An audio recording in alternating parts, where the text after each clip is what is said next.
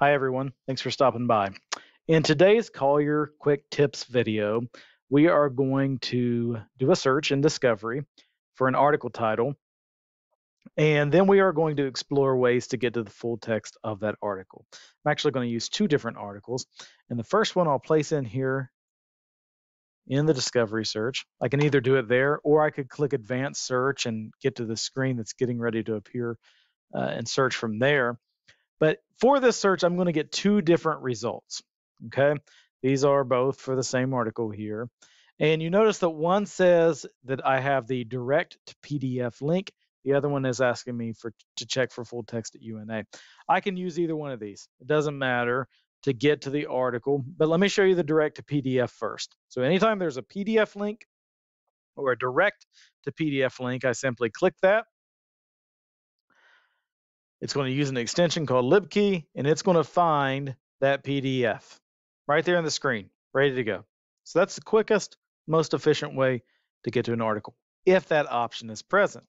If it isn't, you might have something that says for check to check for full text UNA.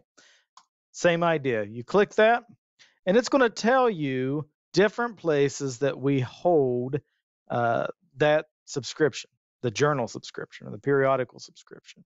And in this case, it says we have it here, and it gives us an opportunity to find that article uh, via full text finder. So I click that, and guess what? Same thing happened. I've got the PDF ready to go.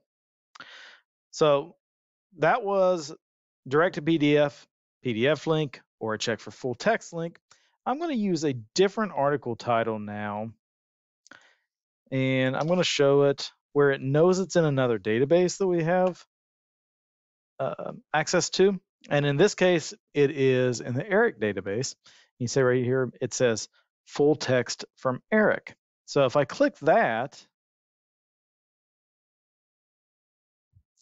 I get this page with the ERIC record up. And with these, you got to do a little bit more investigation.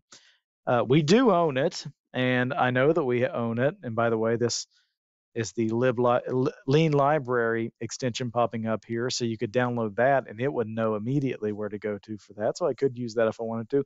But i also noticed right here that it says there's a direct link to that eric document and if i click that now it's going to start looking like it did before.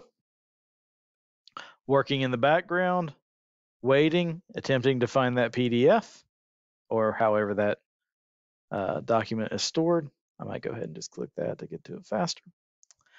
And here we go. Now I know that uh, this is my article here.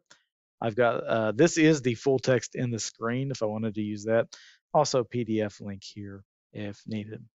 So uh, I know this has been a very quick video, kind of a run through on what's going on there. If you don't have a PDF link, a direct to PDF link, a full text link, or a find full text at UNA.